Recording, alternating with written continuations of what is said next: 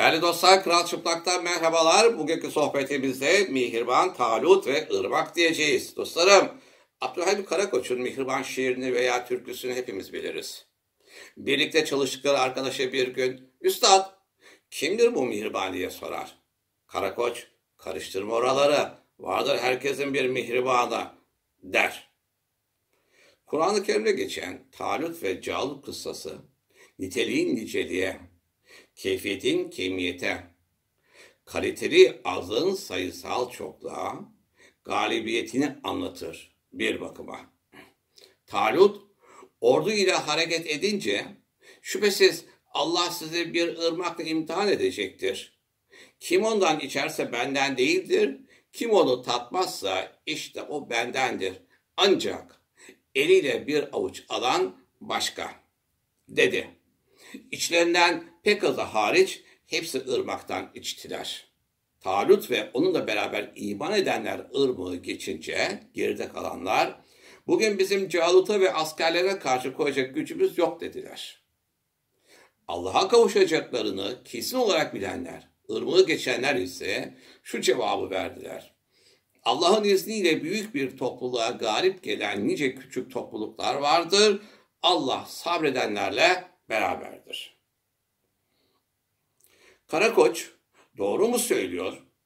Herkesin bir mihribanı var mıdır? Sizin uğruna türküler yaktığınız mihribanınız oldu mu? Hep içinize sakladığınız, karıştırılmasını istemediğiniz bir hikayeniz veya ütopyanız oldu mu? Adını koydunuz mu ya da adını bir türlü koyamadınız mı? Hangi zeminde yürüdü mihriban? Adı makam, para, şöhret miydi veya başka bir şey miydi? Siyasetin hareketlendiği özellikle bu dönemde pek çok insan bir mihriban peşinde. Talut ve Calut taraftarları her dönemin gerçeği. Nitelikli ve sabretmesini bilen azınlığın, sabrı bilmeyen nitelikten yoksun çoğunluğa galibiyet ise Allah'ın yasası. Bu yasayı sosyolojik vakalarda gördüğümüz gibi ilahi buyruklardan da öğreniyoruz. Calutsuz bir dünya mümkün değil. Calut sevdası mihraban olanların imtihanı. Irmaktaki suyu içenler sevdasının mağlubu, içmeyenler muzaffere. Ömrüne bir mihriban koyamayanları ve ırmak suyuyla sınanmayanları şairin beyhude salınır, beyhude çağlar, bir sağa bir sola çoban çeşmesine benzetebiliriz.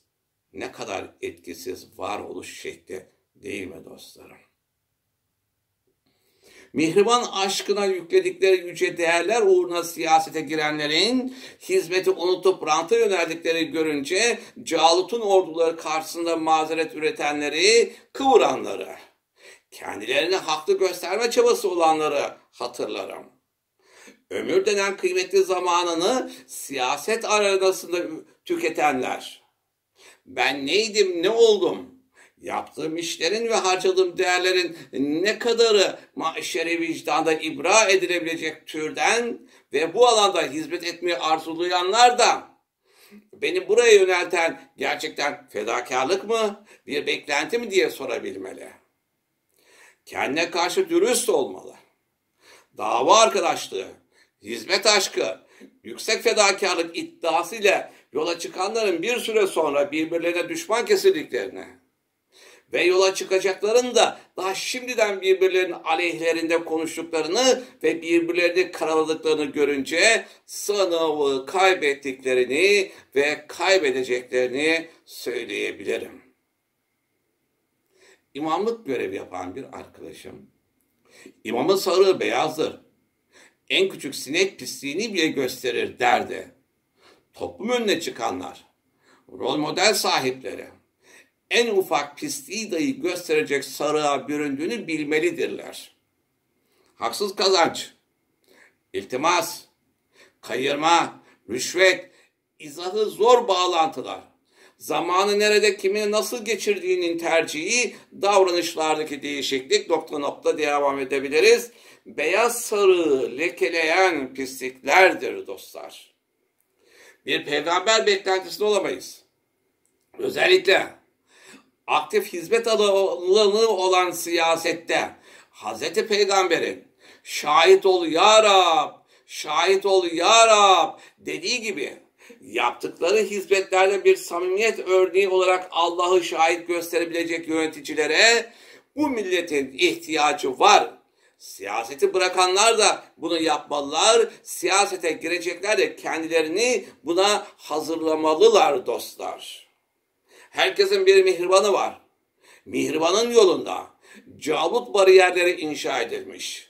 Talut'un askerlerinden ırmaktaki suyu içenler kaybetti, içmeyenler kazandı. Sabır, doğru inanç ve dürüstlük gösterenler şahit ol ya Rab diyebilir.